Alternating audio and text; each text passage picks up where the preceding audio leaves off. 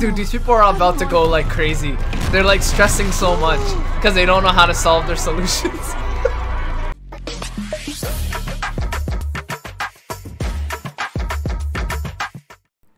What's up guys, it's Leviathan and we are back with another reaction today. Today we are reacting to Infinity Train episode 6 titled The Unfinished Car.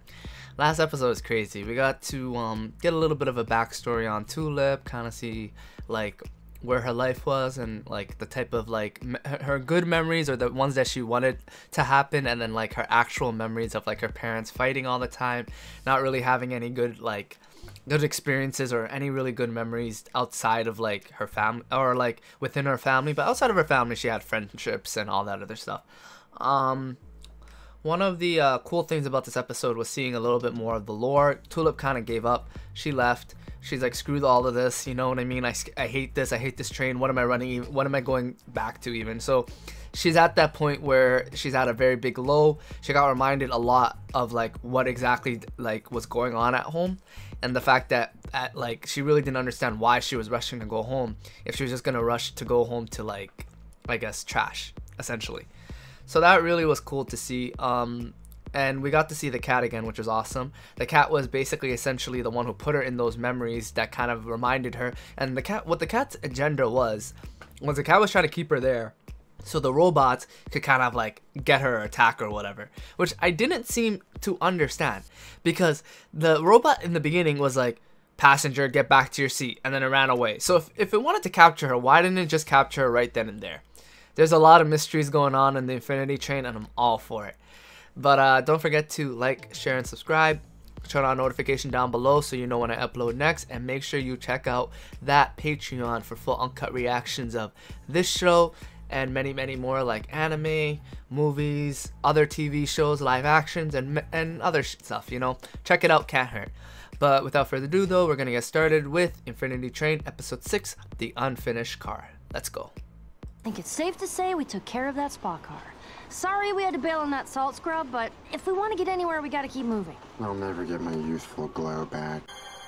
we aren't going to stress ourselves out. We are going to stay positive, and we are going to take this one car at a time. When you scrub up, you lift your heart up. You gotta be clean, clean, clean. This this is called the unfinished car, so clearly that's not finished. Spikes, mummies, uh, emotional manipulation. Whoa! Whoa, mm. neat. I guess in the train, if there's stairs, regardless of wherever they're like positioned, you can climb up it. The Supreme Excellency, please extend your necks in adoration. I don't know what it is, but their voices are, are not good. we can show you to the other door, but pray tell, who is your little friend dismantling our turtle totter? One one. What are you doing? Uh, I'm sure they have someone who can fix it. Some kind of licensed technician? Turtle? Technician? If this is an unfinished car, why is there even a turtle in here, to be honest? Why are there people here?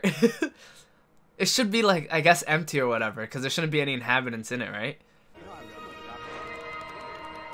Gravity Turtle College car? Okay. well, I'm gonna get back to work. That house! There's no wall at all. So? These houses are supposed to have walls. Anyone could just walk in. Oh my gosh, I can see their saucepans.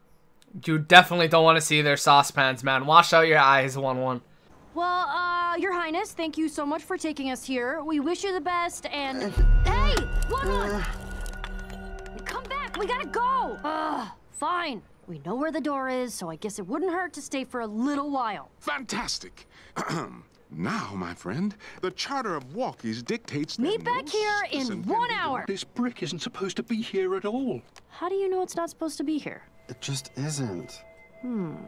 There's a good possibility that one one's like uh, model robots were like the ones who ended up building the train or designing it in the first place. So he himself knows like how each train car should be structured, right? I guess. Our mail delivery service is built around them.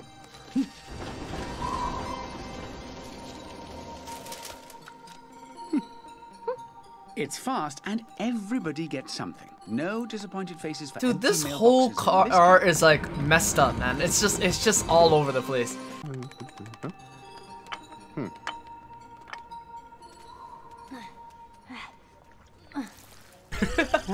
What are those? What are those orbs, man? Do they give life to the car? I will. Thomas the tank engine was huffing and puffing when suddenly. Bust my buffers! This isn't the way to the Whistling Woods. Write that down. Because this is the second time we're seeing them, at least. Hmm. I guess neither of them know how long an hour is. That looks like you need a key to open it anyway, so she won't be able to get out of this car unless she actually uses Well, the key. Yeah, I was trying to help you clean it up. I'm gonna be late. No, no, no, no. Jam pond has been dried up. No, I, I, I don't know why it happened. I These know. people, these turtles create jam ponds to slide on. Have you never heard of public transportation? Dude, these people are about to go like crazy. They're like stressing so much because they don't know how to solve their solutions. Atticus, what's going on? Uh, have you seen One One? Seen him? We're trying to stop him, but we can't reach. I think I understand one one though. Like he himself is probably part of the ones who designed this place, right? So there's a good chance that like he himself is like it's bothered by the fact that everything's like disorganized, you know? Don't you get it, you crustaceous cheapskate? I can't make a double Krabby Patty with the work. I can't put a patty on a bun with lettuce, cheese, onions, tomatoes, ketchup, mustard, pickles, and top bun together in that order.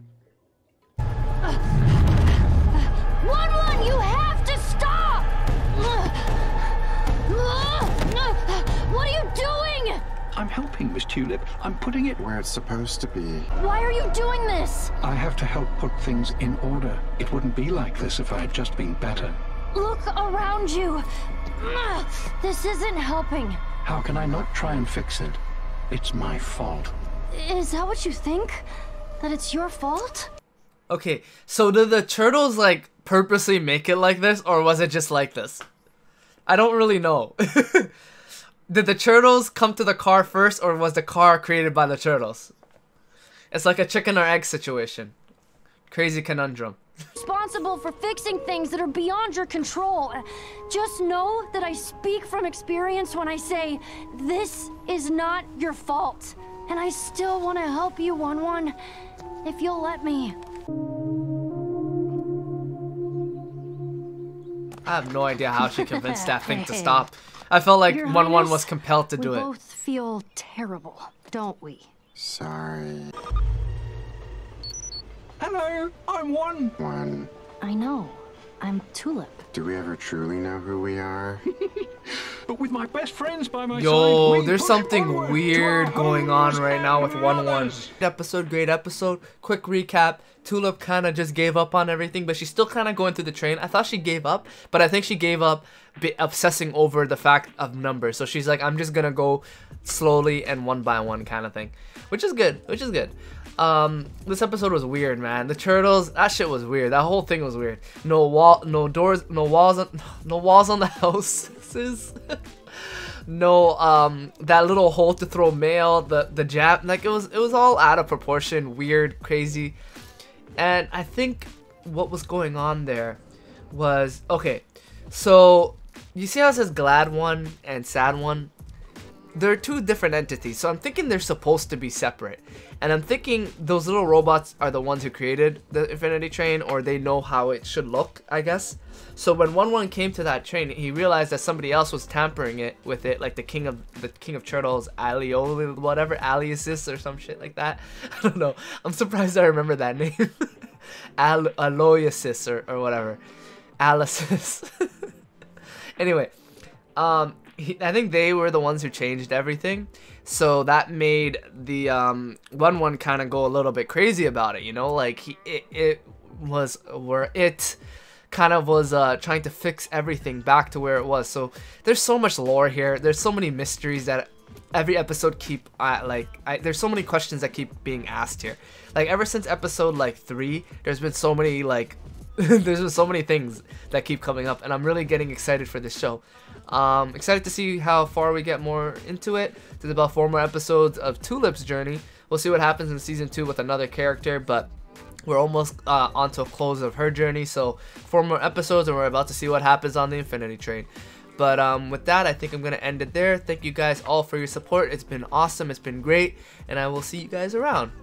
Peace. Bye.